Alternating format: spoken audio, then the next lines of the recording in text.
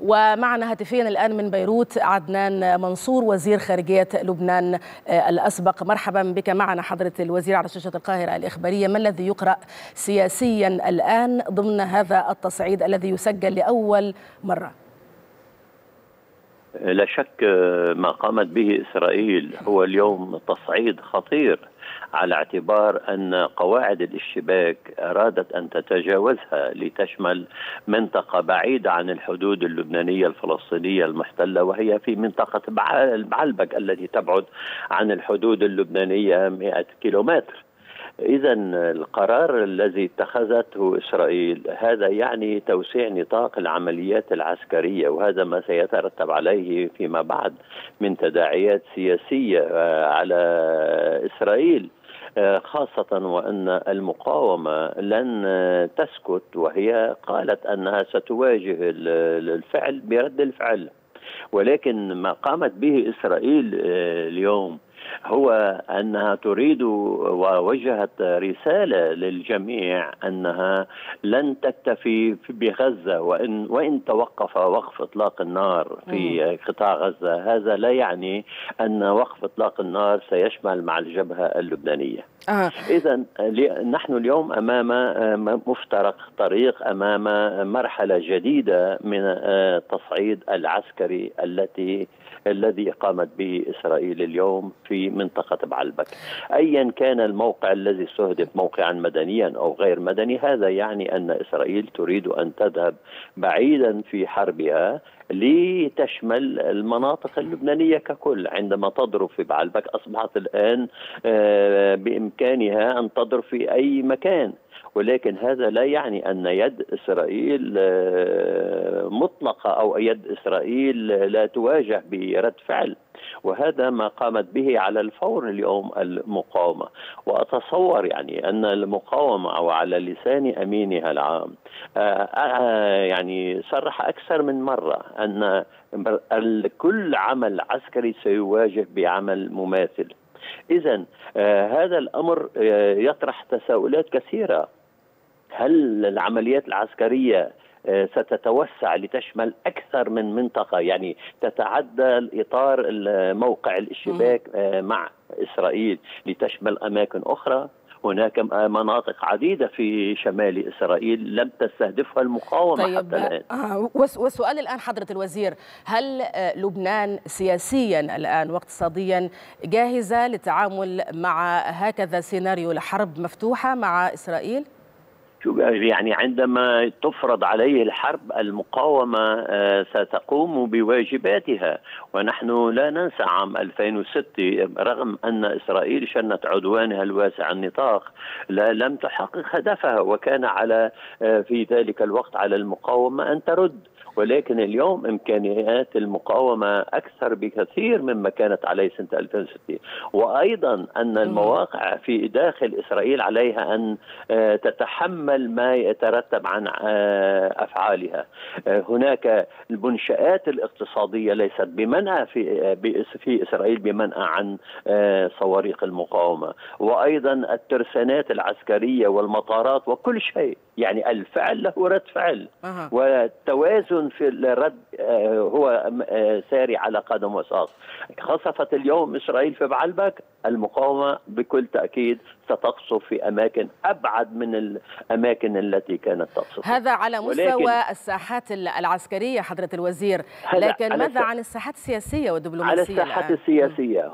هناك هل الولايات هل إسرائيل تريد أن تفجر المنطقة ككل خاصة بعد أنها لم تحقق هدفها العسكري وهدفها السياسي في غزة.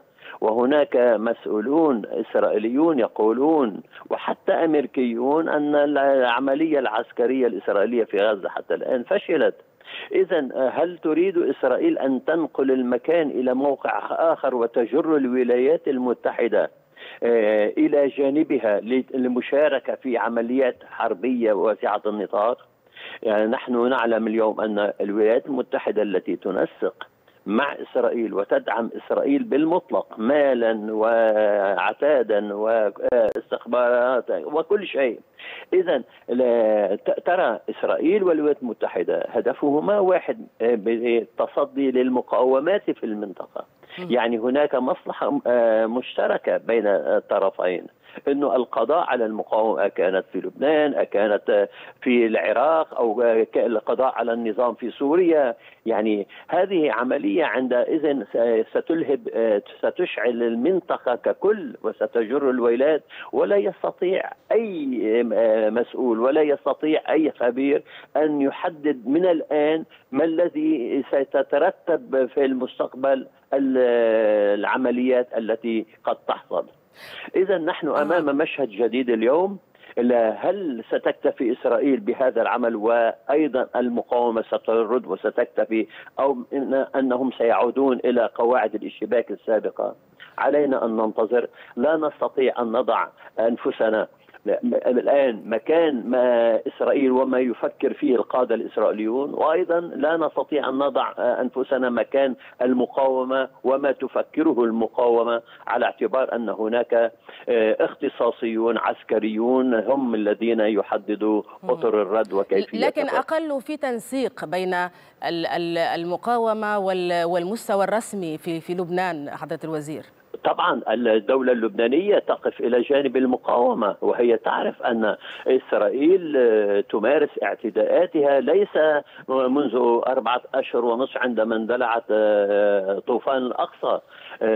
إسرائيل تمارس اعتداءاتها اليومية منذ عام 2006 عندما بعد العدوان وبعد صدور القرار 1701 اسرائيل باستمرار هي تمارس الخروقات البرية والبحرية والجوية وتقوم بعمليات عسكرية داخل لبنان عبر عملائها عبر جواسيسها وهذا طيب. أمر يعني معروف.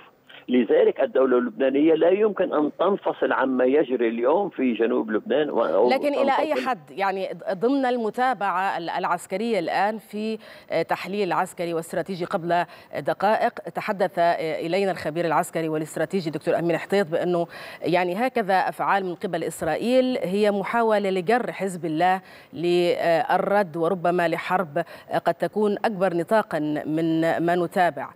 هل على المستوى السياسي السياسي حزب الله المقاومة جاهزة كما هي جاهزة عسكريا؟ طبعا هي اولا المقاومة هي جزء من النظام السياسي اللبناني ولها تمثيل داخل المجلس النواب وفي الحكومة اللبنانية.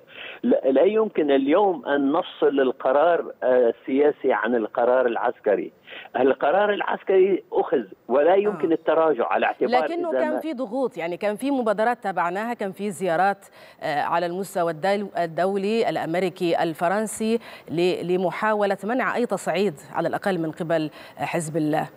لا هو التصعيد لم يحصل من قبل حزب الله. التصعيد الذي حصل اليوم هو من قبل إسرائيل. والمقاومة حافظت على قواعد الاشتباك منذ اليوم الأول. ولكن إسرائيل أرادت أن توسع نطاق العمليات قصفت شمال الليطاني. قصفت في صيدا قصفت في كفر رمان قصفت في النبطية. وتوسعت لتصل إلى اليوم إلى معلبك إلى البقاع شمال يعني شمال البقاع الغربي. إلى معلبك. ضمن ما نتابعه حضرة الوزير الآن من معطيات وهذا التصعيد الإسرائيلي برأيك ما هو مستقبل القرار 1701 17 واحد يعود إلى مجلس الأمن الذي هو يستطيع أن يحدد من الذي يخرق هذا القرار. القرار 1701 احترمته المقاومة احترمه لبنان ولكن منذ اليوم الثاني لقرار 1701 الذي أصدره مجلس أمن وجدنا أن إسرائيل باستمرار يوميا يوميا تخرق الأجواء اللبنانية وأكثر من ذلك تستخدم الأجواء اللبنانية لقصف مواقع في سوريا. تقوم بالاعتداءات على مطار دمشق وعلى مطار حلب من خلال الأجواء اللبنانية. إذا هذا يشكل اعتداء سافر على لبنان من خلال استخدام أجوائه وأيضا من خلال خرق أجوائه وبحره وحدوده. المسألة مرتبطة تتعلق بإسرائيل. وهذا العدو نحن نعرف جيدا يعني نحن تعاطينا معه خلال عقود. هذا لا يحترم المواثيق ولا يحترم العهود ولا يحترم الاتفاقات الدولية. انظروا ما الذي حصل بالكنيسة الإسرائيلي. رفض بالمطلق الدولة الفلسطينية. إذا من أجل من تم توقيع اتفاق أوسلو واتفاق واي ريفر واتفاق كامب ديفيد وكل ذلك. أطاح بالمجتمع الدولي وأطاح نعم.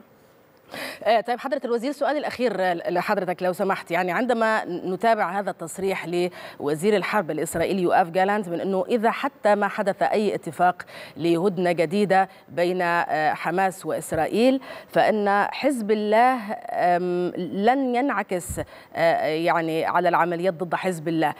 وكأنه فصل يعني إسرائيل فصلت جبهة غزة عن جبهة حزب الله. هذا يعني هذا التصريح كيف يقرأ سياسيا؟ يعني هو يقرأ طبعا عسكريا على نطاق استراتيجي وربما على نطاق إنه في سيكون عمق في تنفيذ العمليات العسكرية. لكن سياسيا كيف قرأته؟ سياسيا يعني كما قلت أن اليوم إسرائيل تريد أن توسع من نطاق عملياتها حتى تنتزع قرارا سياسيا لبنانيا يصب في صالحها. آه. وهذا الأمر لن يحصل. وقد يستدعي الأمر إلى تدخل دول أجنبية كالولايات المتحدة أو دول أوروبية من أجل تهدئة الأوضاع ووقف إطلاق النار.